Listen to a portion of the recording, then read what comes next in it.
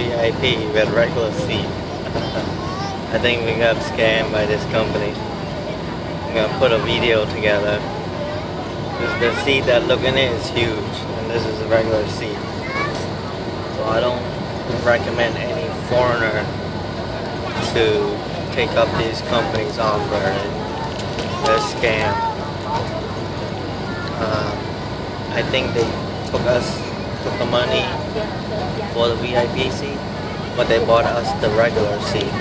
This um, supposed to be an agency, but I guess it's not like an agency, so we'll see. Oh.